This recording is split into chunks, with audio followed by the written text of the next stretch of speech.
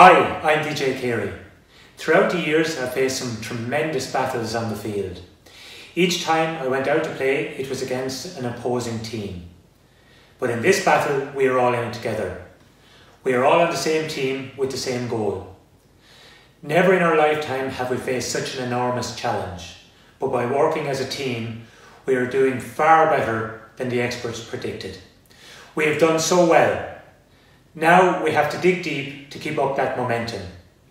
Let's not take our eye off the ball. We can do this together.